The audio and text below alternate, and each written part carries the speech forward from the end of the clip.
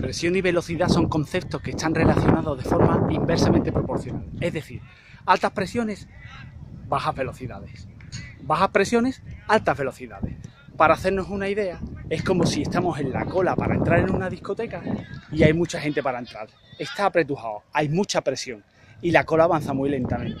Hay alta, baja velocidad. Cuando hemos pasado el filtro, hemos pagado y hemos pasado el filtro y estamos dentro, vamos rápidamente hacia la pista. Alta velocidad, no tenemos nadie que nos empuje, bajas presiones. En un sistema de agua a presión es exactamente así. La bomba imprime presión y cuando sale el agua fuera es una alta velocidad. El agua que vamos a ver no es agua a presión, realmente es agua a velocidad.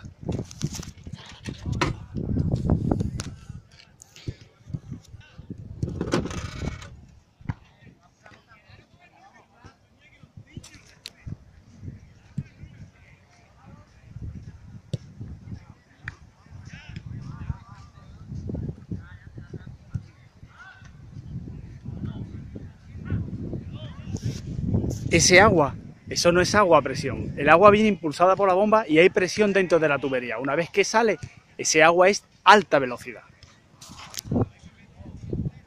Mayor presión, menor velocidad. Menor presión, mayor velocidad. Una vez que el agua está fuera, baja presión, alta velocidad.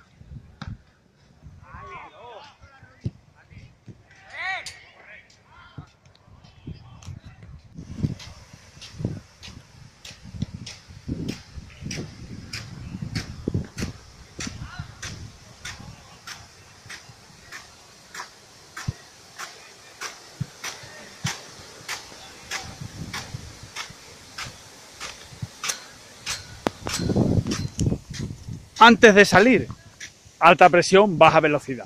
Una vez que está fuera, baja presión, alta velocidad.